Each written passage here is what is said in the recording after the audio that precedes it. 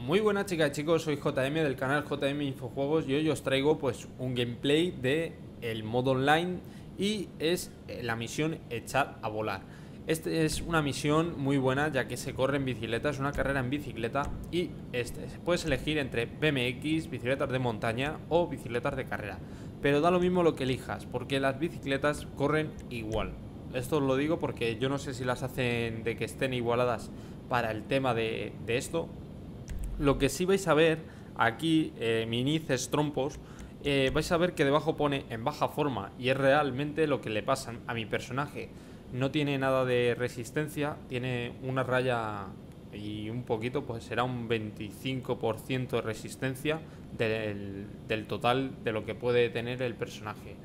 Y realmente no, no quedó entre los primeros, pero bueno, eso no es lo que os quiero enseñar. Lo que os quiero enseñar es que la misión es divertida y también os quiero hablar de varias cosas que me gustan y no me gustan del, modo lo que es libre, el modo donde podemos interactuar con muchísimos personajes, robar tiendas y demás. Aquí hice un pequeño truco, eh, no, es, no sé si es un truco, pero le empecé a dar a la X muchas veces y pasó esto. No he metido ningún código ni ninguna clave, simplemente empecé a darle a la X aquí muchas veces seguidas. Podéis ver que el tiempo no es eso y el personaje se adelantó un mogollón. Eh, bueno, vamos a ir al modo libre. En el modo libre yo no sé si os habéis dado cuenta que cuesta muchísimo dinero juntar 5.000 dólares, 6.000, 7.000, 10.000. Eh, cuesta la real... A mí por lo menos me cuesta muchísimo. Eh, estoy en un nivel 12 y me cuesta muchísimo ganar algo de dinero en el juego. Lo llevo al banco, lo guardo.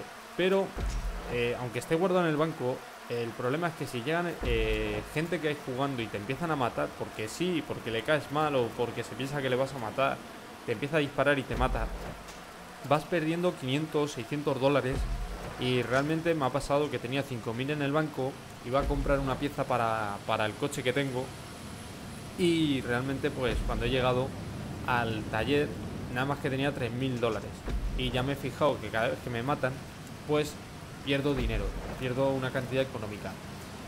Siguiente cosa que os quiero comentar y esta es una de las que más me ha gustado.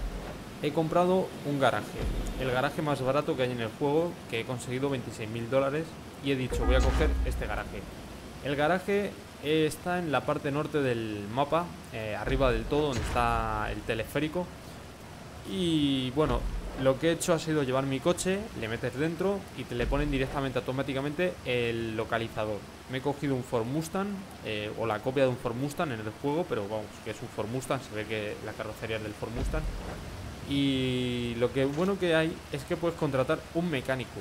Ese mecánico se queda eh, donde los talleres, donde tú eh, te hace un mantenimiento de los vehículos y siempre te los mantiene bien. Aparte de tener el mantenimiento bien de los coches, si tú necesitas un coche en una zona, no sé, estás en mitad del campo, perdido, no hay carretera, no, hay, no llegan taxis, no llega nada, tú llamas al mecánico y le dices que necesitas el coche, el mecánico te lo acerca por 50 dólares. Te cobra 50 dólares a cualquier parte del mapa y te lleva tu coche. Y eso está bastante bien.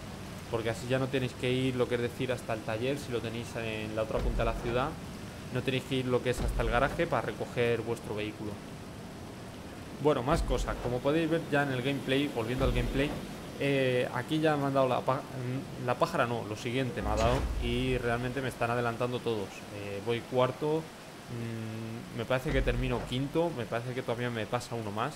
Eh, no sé si hay alguna fórmula para que la bicicleta corra más o no. Yo creo que todo se debe a la resistencia del personaje. Mi personaje, pues como podéis ver, no tiene nada de resistencia, tiene muy poquita y muy rápido se ha agotado. Eh, la misión esta es, entretenida. Lo que pasa es que, claro, eh, aquí hay unas personas que ya están en nivel 19, nivel 17, me parece que eran, y realmente pues ya tienen mucho, mucho, mucho rodado. Rodado me refiero a que han robado pocos coches y han ido corriendo a muchos sitios y han ganado mucha resistencia. ¿Qué más cosillas?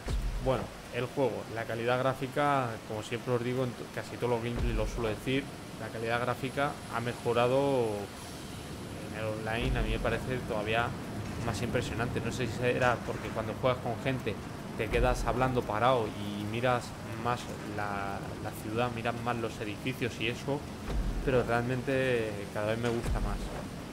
Y bueno chicos, ya estamos llegando al final del gameplay.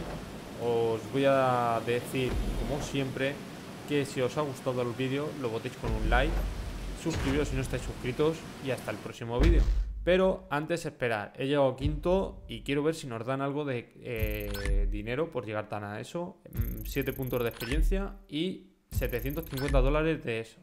Y de reputación 190. Eh, no sé cómo irá todavía el tema de las bandas, pero eh, estoy ahí, tengo ya una persona agregada en la banda. Cuando juguéis conmigo directamente, lo único que podéis hacer es agregaros y ya está. Chicos, lo dejamos aquí, ya está el próximo vídeo.